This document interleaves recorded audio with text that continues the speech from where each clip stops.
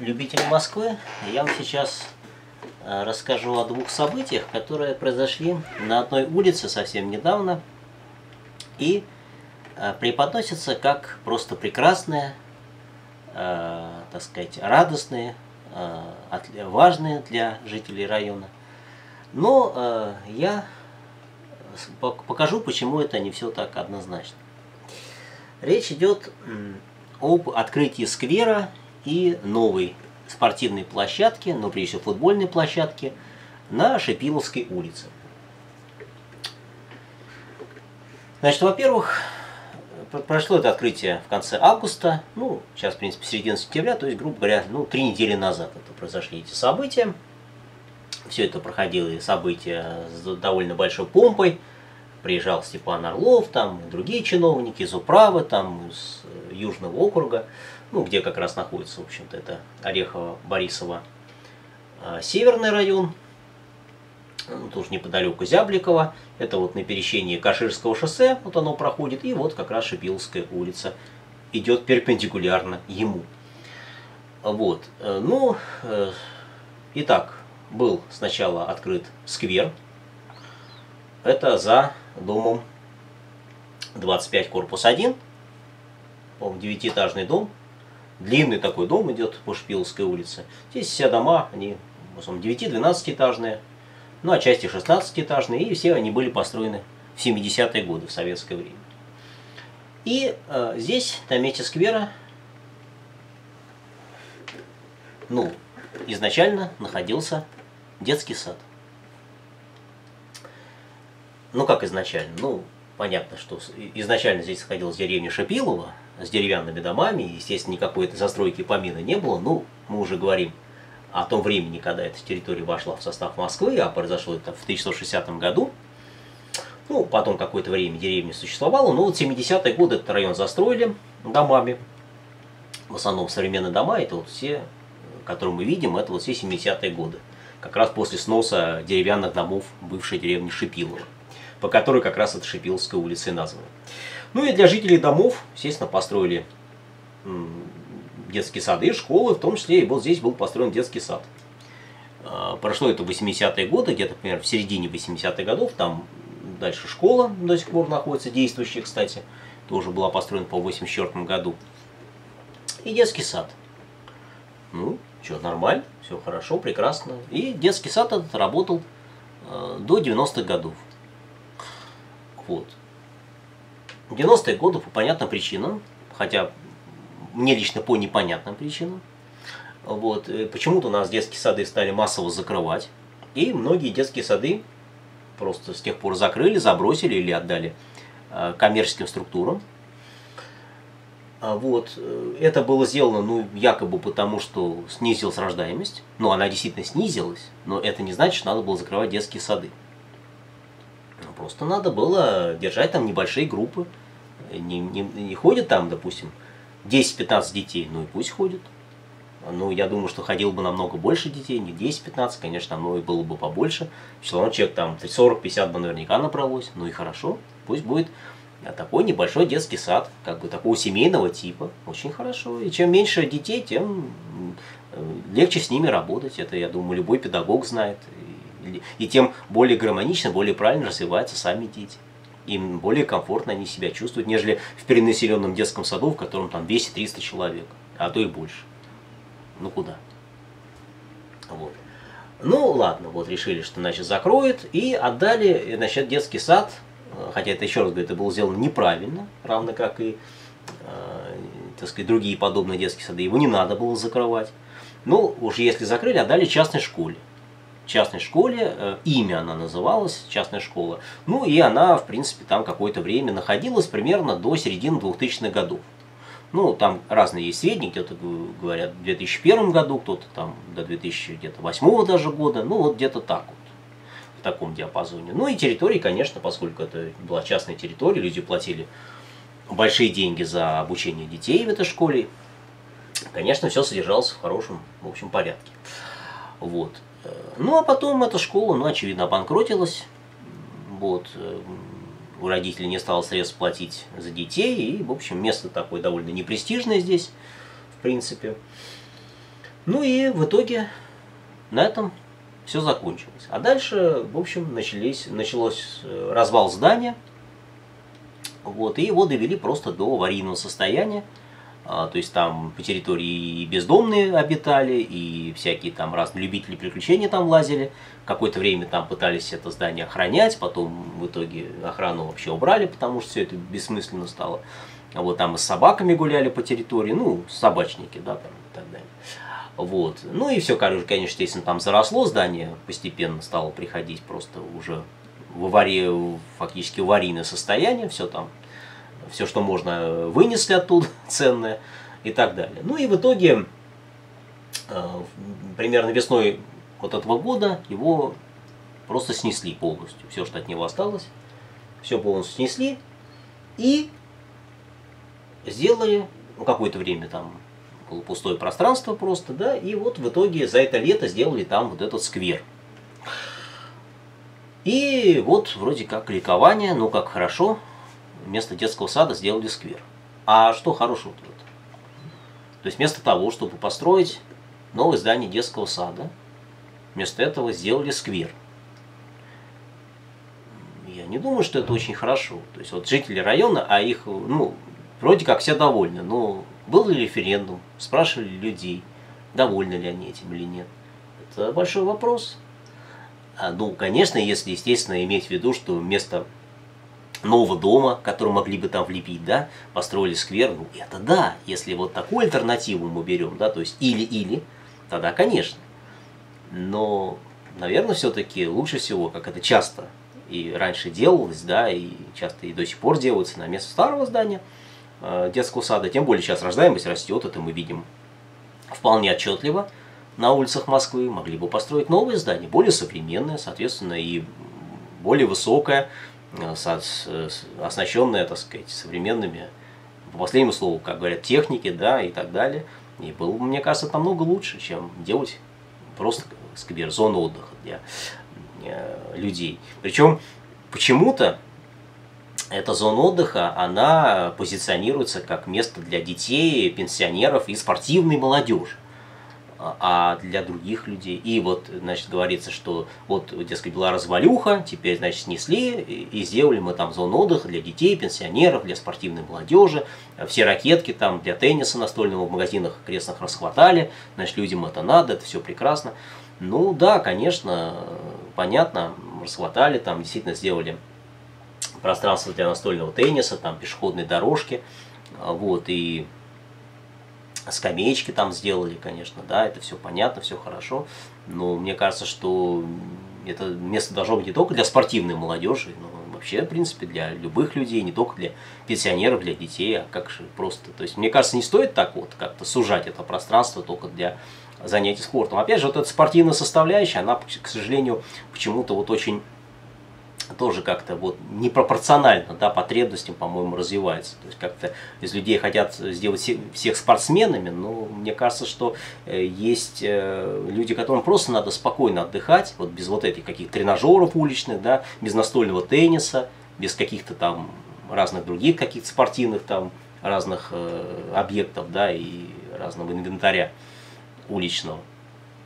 Поэтому мне кажется, что, ну да, э, ну не надо так вот именно делать вот какую-то такую именно спортивную да, составляющую вот этого, а, так сказать, э, сквера, да, в принципе. Ну, сделали бы более такой тихий, мирный, спокойный. Хотя, ну, да, действительно, в общем, есть там пространство и детская площадка сделана, да, и, в принципе, цветочная композиция есть, и скамеечки там для отдыха, такие дизайнерские, да, то есть что-то нашли. Конечно, это, в принципе, неплохо. То есть так вот с детьми там погулять, это, в принципе, неплохо. Но, еще раз говорю, что детский сад был бы лучше, на мой взгляд. Более правильно было бы сделать детский сад.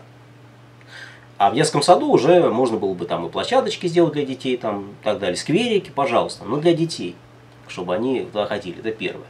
И второе, я бы сказал, что все-таки вот не нужно, опять же, вот это такое вот излишнее какое-то перенасыщение спортивными всякими вот этими объектами, вот эта направленность на вот это вот такое занятие спортом, занятие физкультурой.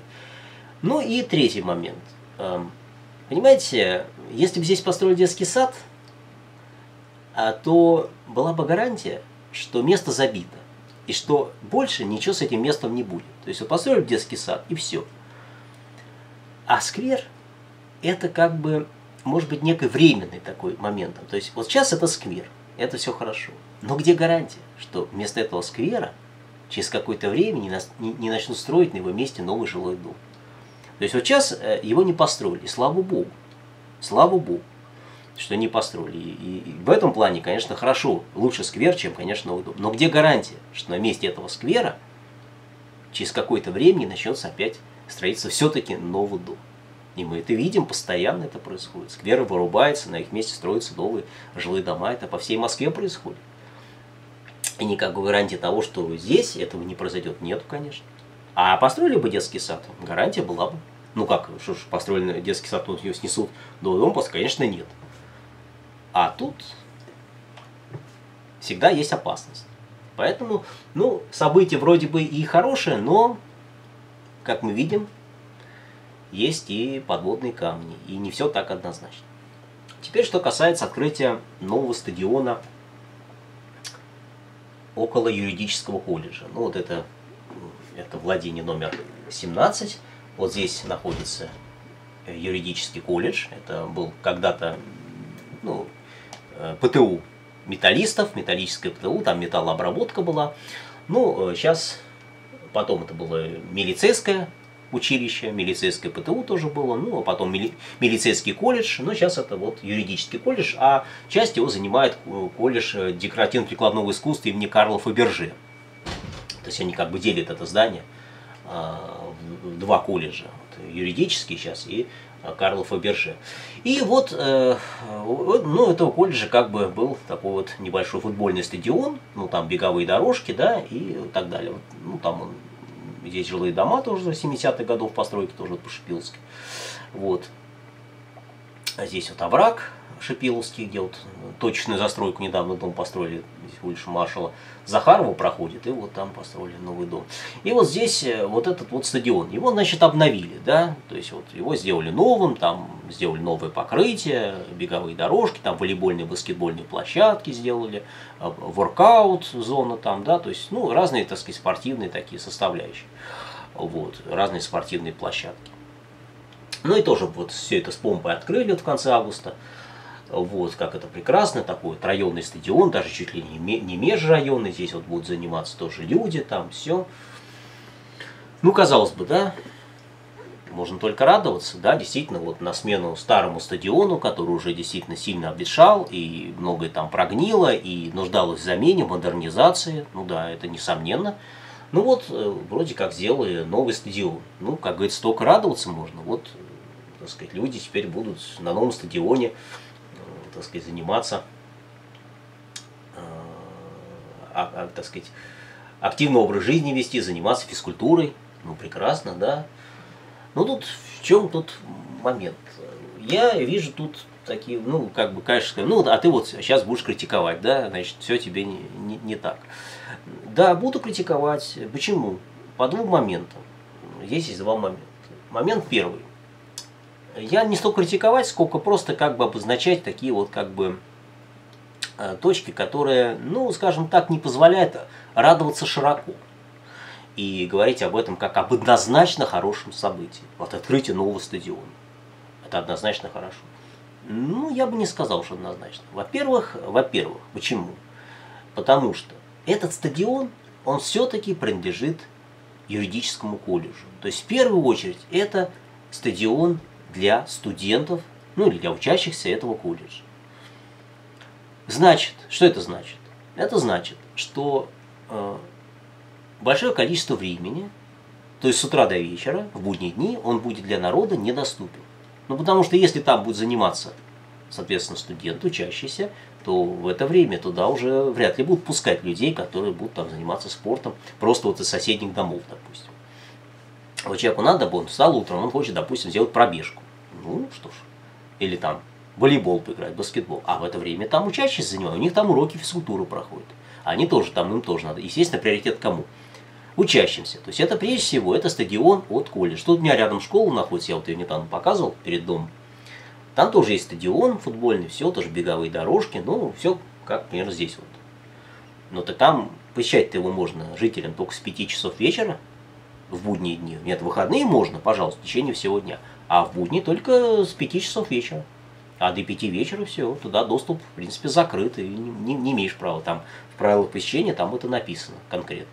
Ну, точно так же и здесь, скорее всего, будет, да, то есть главный приоритет, соответственно, это, а весь день, по сути дела, люди пользоваться им не смогут. Придешь, а там студенты занимаются, да, тебя туда не пустят. То есть это первое. То есть, по сути дела, это сужение, конечно, вот этого такого вот времени, да, возможностей, скажем так, для занятия физкультурой именно вот для жителей района. Ну и второй момент, ну он так, это самый, я считаю, такой главный негативный момент, как мне кажется. И второй такой момент, ну, он менее может быть такой негативный, да, и, скажем так, ну, уж скажу, да, что это все-таки вот а, ну, вот именно э, упор делается на спорте. То есть мне кажется, что вот всегда говорят, вот занятие спортом. Ну, не занятие спортом, занятие физкультурой. Вот это разные вещи, физкультура и спорт. Спорт это все-таки ну, для э, профессиональных спортсменов, да, это для тех, кто хочет достигнуть каких-то результатов. Это всегда связано с какими-то повышенными физическими нагрузками, э, ну, с каким-то большим тщеславием, когда человек действительно вот там, ну, что-то хочет добиться, там, достичь, там, что-то такое. Ну, а простым людям, вот нам, жителям, там, допустим, да, ну, зачем спорт нужен? Нужен не спорт, нужна физкультура. И мне кажется, вот это вот самое главное, должна быть именно направленность вот этих вот стадионов, там, допустим, да, то есть не на занятия спортом, не на какие-то там силовые вот упражнения, какие-то там. Э, и опять же вот говорят, да, что вот этот, э, так сказать, стадион со временем будет использоваться для массовых, массовых э, сдач норм ГТО. Ну зачем вот эти нормы ГТО? Зачем они нужны вообще для простого человека? Человек будет пыжиться, человек будет там портить, фактически портить свое здоровье, да, вот этими чрезмерно физическими нагрузками для того, чтобы получить какой-то значок медальку, и, и чтобы тебе там дали какой-то документ, что ты вот сдал нормы ГТО. Там. Но зачем? А зачем это нужно для простого человека? Я считаю, это не нужно. И направленность надо делать не на, вот на, не на какие-то сдачи норм ГТО, не на какие-то там вот достижения каких-то спортивных результатов. Это все не нужно для нормального, обычного человека. А, вот а именно просто на такое спокойное, нормальное развитие, физическое развитие занятий физкультурой, да, то есть какие-то, ну, подтягивания, бег, там, трусой, там, прыжки какие-то небольшие, да, занятия там, ну, каким-то игровым видом спорта, пусть там да, волейбол, баскетбол, прекрасно, ну, тоже в свое удовольствие, без каких-то там результатов, без каких-то там вот счетов, там вот столько-то победил, там и так далее, каких-то там разных э, записей в какие-то там разные книги, там какие-то, да, что-то там достиг, что-то добился и так далее, той какой-то личный счет. А именно вот просто для укрепления здоровья. Вот это самое главное, мне кажется. Физкультура, она нужна для укрепления здоровья. А спорт для достижения тех или иных результатов, ну, естественно, получения при этом каких-то денег, для удовлетворения своего тщеславия. Вот это спорт это спорт, высоких достижений, как его говорят. А с физкультурой это для здоровья. И мне кажется, что направленность должна быть именно вот это. Что именно для спокойного занятия физкультурой. Кто как может, по силам, по потребностям, ну вот без этого, вот без спорта, вот без какой-то вот этой агрессии, потому что все-таки вот чувствуется вот эта какая-то агрессивность, вот мы сейчас тут вот будем вот спортсменов, мы сейчас вот все будут спортом заниматься, прям такими сильными, все поднимать, прям престиж, ну то есть вот, вот это прет просто, вот это вот прет, вот это вот какая-то вот э, агрессивность, какая-то вот это вот, э, ну, все-таки бравада, она ни к чемушная, мне кажется. Мне кажется, стоит вот без вот этой помпы все это делать, ну, просто для спокойных занятий физкультурой. И еще раз подчеркну, вот возвращаясь вот к первому моменту, да, что надо открывать стадионы именно вот как раньше открывали, общедоступные общедоступно, не привязанное к какому-то конкретному э, колледжу, какому-то конкретному учебному заведению, какому-то институту, там, заводу какому-то, да, ну, раньше тоже были при заводах, но это другое, туда и не пускали, в общем-то, особенно всех остальных. А именно вот эти вот именно районные, в таком вот именно плане, ну не как вот сейчас говорят районные, а при этом привязан к какому-то колледжу. А именно вот общедоступные стадионы. Чтобы они ни, никому ни к чему не были привязаны. И человек мог бы с утра до вечера, каждый день, в любое время, удобное для него, да, а, надо тебе там в 9 утра, ну, хорошо, встал, пошел, позанимался. Вот, заниматься физкультурой. Вот, мне кажется, что это очень-очень важно. И возможности для этого э, несмотря на то, что застройка сейчас все-таки в городе стала очень плотная, да, и все более и более уплотняется, мне кажется, все-таки есть. И вот это надо делать.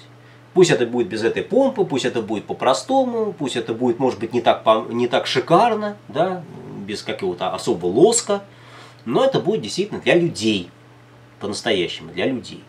Не для каких-то там вот выступлений праздничных, не для каких-то там записей где-то, что вот мы там сделали вам, а именно вот действительно от души. И для людей, чтобы они могли... И чем больше таких стадионов будет появляться, тем лучше. Ну, не надо, не надо, конечно, тут уж подать другую крайность. Не все хотят даже и физкультурой заниматься, это однозначно. Но, э, чтобы желающие, они могли это сделать.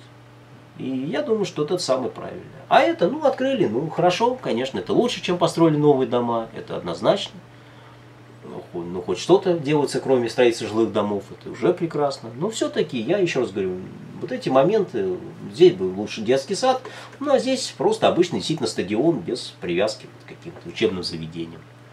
Было бы неплохо. Ну, такие мои мысли по поводу событий, недавно происшедших в моем родном Южном округе, на Шупиловской улице, дом 25 и дом 17. Вот. Ну и вот этими мыслями я хотел с вами поделиться. До встречи.